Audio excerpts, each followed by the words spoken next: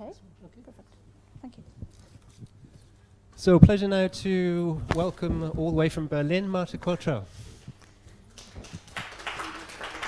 Thank you very much. So, let's have a short thought experiment. We are in the so-called confessional age, so the phase of consolidation between the religious peace of Augsburg, 1555, and the peace of Westphalia, 1648. First Jubilee of the Reformation, 1617. Almost everywhere, the same text for celebration and preaching was chosen, 2, Thessalon 2 Thessalonians 2, the text of the Antichrist. In a short pamphlet focusing on the topic of the end of time and its signs, printed anonymously in Heidelberg in 1608, other opponents of the Antichrist before Luther are mentioned, Wycliffe, Huss, and Savonarola, drawing a line in a possible underlying, uh, in a possible tradition underlying the negative apocalyptical attitude combined with an eschatological expectation in the interpretation of the present time. Despite the recognition of several antichrists, the proper antichrist remained for Luther himself the papacy. And this kind of pattern of revelation has been presented even in the Formula of Concord. For example, here, this is the preface. The importance of the Reformation as a historical event should be found in, in, the historical revelation of the hidden pattern of the revelation as a whole. The link between heroical interpretation and Antichrist's Botschaft, literally the message of the Antichrist, so the concept of the revelation of the hidden Antichrist, represents the main form of self-interpretation self of the whole Reformation, even in the collective imagination of the time. The connection with the medieval tradition made it totally understandable in the demand for the right uh, separation from the authority of the Papal Church. And the institu institutionalization of the anti-Roman polemic became a topos of the evangelical proclamation, spreading soon in form of Flugschriften, the pamphlets, within, within theologians and folks as well. The identification of the papacy with the Antichrist appeared first in 1521 in the so-called Anticatharinus as an exegesis of Daniel 8, the Antichristo. The spreading of such kind of evaluation among the evangelical theologians has been made clear by the number of signatures in, on Melanchthon's treatise De Potestate Primatu Pape, 1537. The apocalyptical interpretation of history made the battlefield, so to say, between the true and the false church where concrete dates and persons play the role of the testes veritatis, makes the soteriological claim of the parousia so clear that the doomsday is described as lieber Jungstertag, literally something like mm, lovely doomsday, bringing to an end God's plan. Luther's discovery of the theologoumenon of the Revelatio Antichristi has been made part of the apocalyptical revelation of the Propria Signa Dei Novissimi, representing a stark eschatological claim. The main example of the reception of this attitude is Matthias Flacius Illyricus, who, beside his masterpiece, which is quite well known, Magdeburger Centurien, in 1556 collected in the so-called Catalogum Testium Veritatis 400 signs against the papacy as Antichrist. On the contrary, the theologians with a humanistic background, first and foremost Melanchthon himself, but even Zwingli and Calvin, had almost no apocalyptical claim. Of course, they agreed with Luther in understanding the papacy as Antichrist and in his interpretation of history, but remained suspicious in regard of the apocalyptical approach in the sense that the prophecy was much more understood as mere chronological device. But for Luther, much more important of the computation of the end of time was the certainty that he was in the very last stage of time. He provided no information about the starting point of the presence of the Antichrist in the church. His main interest was to present the present age at the last of the history of the church, the age of the Antichristiani. Right after Luther's death and the renewal of conflicts against the Catholicism, the concept of the Antichrist has been linked to the particular context of the so-called Magdeburger Herrgottskanzlei, literally Chancellery of the Lord what during Luther's preaching hasn't happened yet, but happened at this stage, is that such, such concept has been used not only in the polemic against the Catholicism, but even in infra-Protestant arguments. so that after this period became usual to classify the doctrine of an opponent as antichristical and, uh, antichristical, and so to understand it as a sign of the Antichrist. Today, I will focus or rather sketch some observation on this particular group. Let's take a step back. Let's take a step back to the context. After the defeat of the Evangelical League, in, uh, League of Smalcald in the Smalcald War in 1547, Luther died in 1546, the Holy Roman Emperor Charles V ordered at the Diet of Augsburg in 1548 some criteria for the regulation of the religious policy, in the sense that it tried to unite Catholic and Protestant, in the sense that it tried to unite Catholics and Protestants in the territories of the Holy Roman Empire. The Council of Trent was moved to Bologna in 1547 and far from achieving some relevant results. A commission formed by Agricola, Pflug, Helding, and Billick drew up a law in the same year, the Declaration of His Roman Imperial Majesty on the observance of religions within the Holy Empire until the decision of a General Council, as known as Augsburger Interim. It focused on the practical regulation of faith, the ceremonies, and the sacramental praxis, granting the Catholic standpoints for any central topics. The law was rejected both from Catholic and evangelical side. By the evangelical side, including Philip, including Philip Melanchthon, on the account that it didn't ensure justification by faith as fundamental doctrine. Against the interim spread a huge polemic production, and the opposers, guided by Matthias Flacius Illyricus, collected themselves in the free city of Magdeburg as Magdeburger Exiles. The city took the proud name of Herrgottskanzlei, Chancellery of the Lord. In 1549, the Duke, of, the Duke Maurice of Saxony, a controversial figure, former allied with the Emperor, whose clever manipulation of alliances and disputes brought to the Albertine branch of the Wettin dynasty extensive lands and electoral dignity, persuaded Melanchthon, the Leipziger theologian Johannes Pfeffinger, and their fellows, the so-called Albertinian theologians, that is the supporter of the Albertinian policy on religion, to accept a compromise known as Leipziger Interim. It included the doctrine of justification sola fide and in exchange stated that doctrinal differences not related to justification uh, not justification by faith were adiaphora or matters of indifference. So it was actually an acceptance of the Catholic standpoints in this regard. This, together with, with the organization of an armed action against the, the, Free City of Magdeburg, theologically justified by Pfeffinger, here for example, with assumption that Luther was a nectar adiaphorist, literally a true adiaphorist, was vehemently opposed by Matthias Flacius and the Magdeburger theologians, claiming that the adiaphora ceased to be adiaphora in case of scandal and confession. The resistance was massive, and at the beginning of November 1550, a huge counter-reaction appeared. Nikolaus Gallus wrote a Gegenbericht against what's stated by Pfeffinger. Matthias Flacius wrote a sharp attack at personam, Wider die neue Reformation, literally against the new Reformation. Even the Hamburger theologian uh, Joachim Westphal uh, published in Magdeburg a counter-reaction based on a compendium of Luther's excerpts. For Nikolaus von Amsdorf, uh, an important collaborator and friend of Luther, the topic was even more uncomfortable. He wrote, dass Dr. Martinus kein Diaphorist gewesen ist, and are plenty of texts against Pfeffinger in the subsequent months. This harsh counter-reaction brought actually something. Maurice of Saxony refused an active support for his political actions, action against the Magdeburger. I would really like to make one point clear. It was not a matter of theological controversies, but rather a proper political resistance. They had to face a military action and uh, the behavior of the Albertinian theologians, who were actually still Lutheran theologians, was of course considered a treason, even, be, even more because they handled Luther's own work to justify their own compromises with the Catholicism. This is the point when we talk about Lutheran identity as controversial process. It's a matter of preserving, perhaps too stubbornly, the pure Lutheran position shortly Luther's position in the Confession of Augsburg and his Smalcald articles against this mangling. The, Magdeburg, the Magdeburger wrote even a non-alternative confession, this one, the Magdeburger Bekenntnis. And here, this point is particularly clear.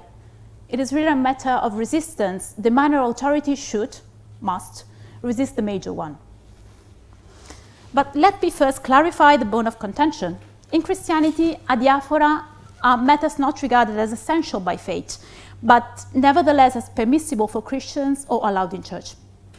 That means that what is specifically considered adiaphora depends on the theological standpoint in view. And that is the problem. The Confession of Augsburg only states that the true unity of the church is enough to agree about the doctrine of the gospel and the administration of the sacraments.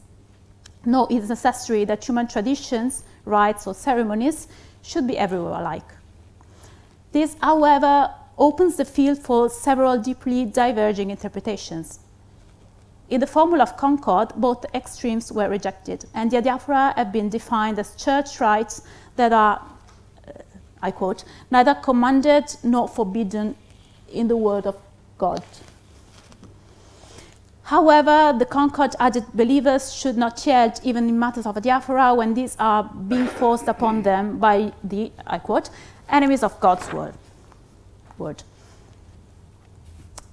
In the German Reformation, the issue of what constituted adiaphora became a major dispute as long as it represented the necessity to stage a known theological identity as resistance against a given theological political pattern. The topic of the construction of a known identity is in other terms a matter of reaction, opposition, or diversification. And this reflects Luther's own attitude against the Roman Church. No wonder that the arguments show a recurring pattern. The readiness to compromise shown by the Albertinian theologians make them traitors of Luther's message, allied of the Roman Church, that is the Church of the Antichrist, and so hegemonical weapons struggling against the real word of God, corresponding to the Lutheran doctrine, of course. Um, following a given pattern, the legitimation of Lutheranism as historical event or revelation is made possible due to its historical defeat recognized as sign of the divine presence, historically re revealing itself as mortifying bond, age of martyrdom preceding the end of time. The parousia and the following, the following intensification of the topic of the wait for the end of time are related to a purification of the doctrine, or rather to the search of the pure Lutheran doctrine. In this sense, the Augsburger and the Leipziger interim fulfill the antichristical marks provided by the usual authoritative points 2 Thessalonians 2, Matthew 24, Luke 21. The Magdeburger interpretation of the interim, together with the Clausula Petri, seems to be so clear that the identification of the papacy with the Antichrist needed no more proof. The interim proved it enough. The adiaphora opened the door, in the Magdeburger Exules view, to the realm of the Antichrist. They represented a recatholization, so a defeat for the faith. The Pope, as Peter's successor and main bishop, is clearly, bishop is clearly the Antichrist. So the Roman Church is the Church of the Antichrist. Service and canon are intended as key point of the interim, laying the ground for the anti-Christianity. The unnecessary mediums are evaluated as falsification of the doctrine and elements of confusion. The readiness to compromise of the so-called Adiaphoristen, the Albertinian, Leipziger, and Wittenberger theologians, identified with the false prophets of the synoptic apocalypse, is read as an overstep of the Christian freedom, setting the Christians under the government of the Pope Antichrist. So, what's properly Luther's heritage for the theologians of the Herrgottskanzlei? An apocalyptical potential developing as proud negative sense of radical opposition to any political, uh, to any theological political foundation. First point, any political, any positive theological, uh, any positive theological political foundation is by definition antichristical. Second point, therefore, any readiness to compromise to the antichristical theological political power is a sign of the same antichristical attitude or identity. Third point, so the only possible self-interpretation as Christians is a martyrological one, in the sense that the historical, political, and theological defeat is a Christological sign of the divine presence. The very core of this standpoint, of this standpoint is that in this attitude should be is that this attitude should be integrated first and foremost in the basis of Luther's theology the way in which Luther discovered and explained his apocalyptical view of history depends essentially on of his discovery, so to say, of the real meaning of the gospel, and so with the opposition against the Roman Church. Structurally, uh, structurally, Lutheran identity and construction of identity depend first and foremost on a negative element, on a limitation. Assuming that this attitude concerns the whole historical structure, the main apocalyptical pattern, as for Luther himself, is for the Magdeburger the Book of Daniel. Daniel's prophecy applies wonderfully to this context. Written in the Hellenistic age, as Judea has been, made, has been made a province by Alexander the Great, it criticized the Greek policy and provides a great expectation or rather hope for the future, for a liberation operated by God in an unexpected but legal way. Its pattern was fruitful in a double way, as meta-historical inspired knowledge of essential elements concerning the immediate future and consisting in a moral and religious order beside or perhaps again the, against the political condition, conditions, and its, in its revelation and transmission of imaginative visions. It is an apocalypse in the proper literal sense of the term, a figurative outlook for serious conflicts until the future collapse of all theological, theological political systems on earth, their beginning and development, being the doomsday, the harvest. This attitude has, of course, its implicit theological background, and this is not that surprising pattern, referring to the powerful visions of the book of Daniel and identifying Luther with Daniel, and in this context, calling the Wittenberger and Leipziger theologians the false prophet of the apocalypse, shows the presence of a certain Joachimite or pseudo-Joachimite influence. Um, here, for example, there's an image of Luther represented as uh, Joachim von uh, of Fiore. By no means it is a proper element of the Reformation itself. It was spreading all over Europe, and also thanks to a huge amount of Joachimite printings in Venice. For example, the Expositio Super Apocalypsum has been reprinted in Venice in 1527. In any case, Joachim of Fiore uh, became the prototype of the old man and the emblem of a given form of prophetism. And this approach deeply influenced the preaching of Luther himself and represented a crucial point for the construction of a Lutheran identity. So to sum up some, to sum up some conclusions, let's have a look on what has been stated in the section at the offer of the solid declaration of the Formula of Concord. Here. In a time of persuasion, in case of confession, even to the enemies of the gospel do not come to an agreement with us in the doctrine, yet some ceremonies abrogated, which in themselves are diaphora and neither commanded nor forbidden by God, may without violence to conscience be reestablished in compliance with the pressure and demand for, that, for adversary. And thus, in such adiaphora matters of indifference, we may indeed come to an agreement with them. But on the other, especially when, it's, when it is in the design of adversary, either through the force or compulsion or in an initiative manner to suppress the production and gradually to this also diaphora can in no way be done. It has been said without violence to conscience and prejudice to the divine truth. So, uh, this is particularly interesting because at this stage we are beyond the stage of the conflict. In the attempt to find a compromise between the parties. And this is known, and this text is nonetheless particularly harsh in this respect. Uh, after the proper section of the diaphora, there is another section composed by a series of excerpts of Luther's Smalcald articles, just to make clear how much this underlying negative apocalyptical attitude represents an essential point for the self-legitimation of Lutheranism itself.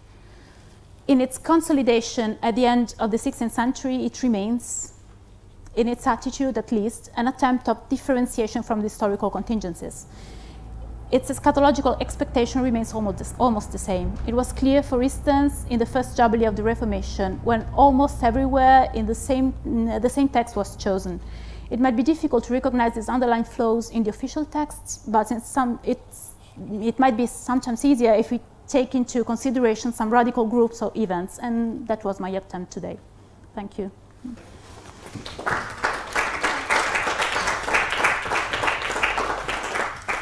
Thank you, Marta. Thank you. Questions for Marta? Yes. Thank you, Marta. Very interesting. My knowledge of mid 16th century Germany is quite limited, so I'm glad that you've been able to fill in mm -hmm. some of the gaps. Um, just a couple of things that you mentioned, maybe you could perhaps elaborate on. Yes. Uh, I was struck you mentioned Joachim Fiore, for example, um, who may not be a figure familiar to everybody in the audience. Mm -hmm. um, and there have been arguments made of a very long reception history for Joachim Fiore. So perhaps you could perhaps outline to the audience who he was, what his major theory was, why he's been considered to be such an important figure Okay. in the Reformation. And then my second one was that you mentioned the identification of the Pope as Antichrist Mm-hmm. And what the long term repercussions of that identification were in Protestant millenarian thought, both in Lutheran and Calvinist forms. Uh, sorry, I, The identification of the Pope with Antichrist, Mm-hmm. what the consequences were in both Lutheran and whether there's a distinction between the Lutheran identification and a Calvinist, or whether they, they reach the same conclusions. the differences between. Uh, I start with the second question. Yeah, sure. Um, uh, well, um, I said uh, that the difference. Uh, that uh, the apocalyptical reception and the reception of the identification uh, of the papacy with the Antichrist is different.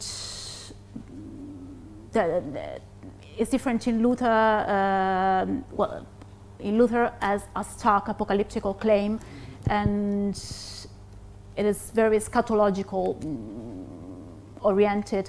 And I, I told that, for example, in Luther, uh, in Melanchthon, but uh, in Zwingli too, and in Calvin,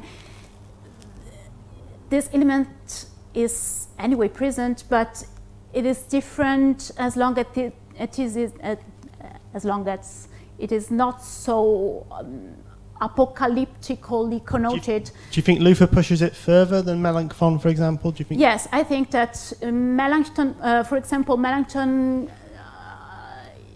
uses massively the prophecy of Elijah. Yeah. Uh, is, is that the one with the history is divided into three phases of 2,000 years? Yes. Um, Luther sometimes quotes um, Melanchthon writings uh, about the prophecy of Elijah, but um, basically rejects it as non-biblical prophecy, and uh, it rejects this, this, use of the prophecy as a chronological device, as attempt to, to, to calculate when the end of time is coming. Uh, Luther uh, sees the papacy of anti, um, as Antichrist in the sense that this vision, this, I, I called it uh, Antichrist, not only I called it, uh, for example, Volker Leppin calls it Antichrist Botschaft, in the sense of the message of the Antichrist, the, the, the revelation of the already existent but hidden Antichrist signs the turning point to the, to the end of time. Is the sign that makes the present age, the current age, uh, the, the, the, very last stage of time. I think that's the main difference. In this, this, well, um, in this approach, I see the main, the main, difference between Luther and the other reformators. reformators uh, reformers. Um, the question of Joachim of Fiore. Uh, Joachim of Fiore is a very well-known preacher, a very well-known medieval preacher uh, whose, inf whose influence and whose interpretation of history as divided in ages, as the, the uh, interpretation of history as a history of the church uh, divided in ages, had a very massive uh, reception uh, even in the modern age. Uh, it is important in the Reformation as long as it was important in the 15th and 16th century. I would say is not a proper Lutheran reception or, or it has not more to do with Luther as for, for, for example, the Catholic side there was a massive um, Joachimite reception in the Catholic side too. Um, and it, of course, and for sure, Luther uh, note uh, the Joachimite doctrine and so on, but uh, it's quite impossible to trace back the origins of this reception. For example, it might be due to the um, Bohemian theologies, Matthew of Janov and so on, it might be, or it might be that he lived in Eisleben in uh, uh, an early stage of his preaching, of his work as theologians, together with uh, Franciscan Joachimite preacher. It, it, for several reasons, it might be that it, might got in contact with this Joachimite background. We, we cannot trace back with with certainty how we mm, got in contact with this approach, but uh, it, it is clearly recognizable in this division of age of history. Okay, thank you. Thank you. Anybody else? John? Yeah, I'll come to you.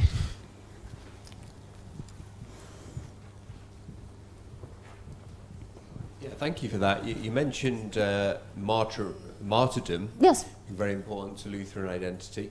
So the, the Calvinists produce lots of martyrologies, you know, Jean Crespin and Adrian von Haemstede and John Foxe. Do, the, do the Lutherans produce martyrologies like that? You know, li- uh, stories of martyrs and major collections of martyrdom stories? Well, the, the, this kind of production, this kind of florilegia, uh, collection of exempla and so on, was uh, quite quite diffuse in the, the, the whole Lutheran production. Uh, for example, mm, several uh, Melanchthon's fellows uh, wrote uh, some kind of mm, production of this type. But it was, mm, I would say, much more uh, uh, a kind of entertaining literature of the time as uh, proper theological literal production. But this martyrological background is very, very recognizable in the whole production of the Magdeburger and the, and the Lutheran as well. I think that I think is is in this case uh, well is not a martyrology in the proper sense of the term, but this martyrological element is mm, an important aspect of the of the Lutheran identity in this particularly troubled period. I mean, they, they- they, they describe don't- themselves as Magdeburger Exules, martyrs, uh, and so on. And it is a self-representation as martyrs. But it's, it's maybe not. I mean, in the Dutch and the French and the English case, it's almost as becomes part of national Protestant mythology. You know, mm-hmm. of almost consolidating a Protestant national identity. Whereas that's not. Is that not quite the same thing in the Lutheran world? I think it is, but much more in the Melanchthon's Fellows production, as far as I know. So as literary genre. But I'm referring to this martyrological attitude in the in other kind of mm, theological and even sometimes propagandistical mm, writings. So yes. It is a much more uh, an attempt to, do, to give advices to the folks or to give advices against these mm, false prophets of the synoptical apocalypse who are trying to get in contact or to mm, to find some kind of accordance with the Catholicism and so on. So I, in this sense, I refer to the martyrological production, but of course is a literary genre too, and of course, they're contributing to create a Lutheran identity too. Okay, keep it brief. I'll try to keep it as brief as I can. Um, now, um, yes. Uh, oh, God. Um,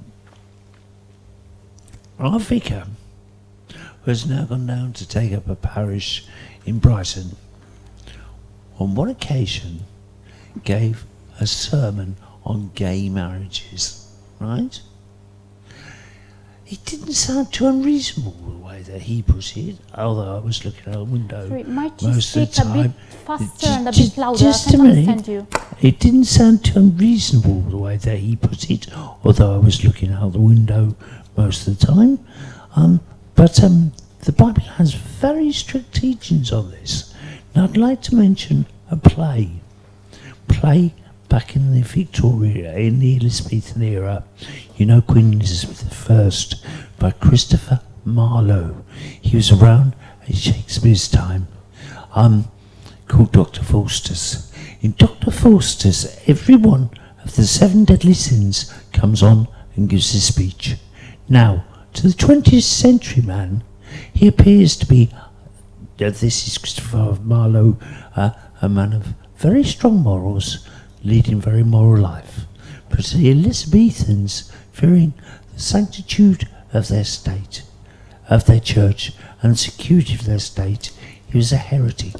To me, seems easy to think of this century as being uh, the 20th century, it's not the 21st. To me, it's, he still seems to be a very moral man, leading a very moral life, proposing and leading a very moral life. But it's a warning also not to reach too high, like the barrel, like the tower, those in the Tower of Babel, and not to delve too deep, like the witches in Macbeth, in your scholastic pursuits of Christianity. I was wondering two things. What one? What were your views on that? And two, what? Where exactly do you come from? Uh, Where were you? Where were you born? Uh, see what I'm getting at. Okay, Marta, do you want to take those questions? you, can, you can tell him where you were born. I don't know if I understood it properly, but uh, I guess that this kind of apocalyptic warnings and and this kind of apocalyptic attitude has, tends to follow always similar patterns. So uh, that might be for this reason that you can see similarities or. Um, might you repeat the question, please? No. um, and the answer to the second question is Rome, I believe, isn't it? Huh? Rome. Rome, Rome. Yeah. Okay, um, let's take a short break there. It's start, is it raining? So we, we, we can dive, quick stretch of legs back in, say, 15 minutes? Okay.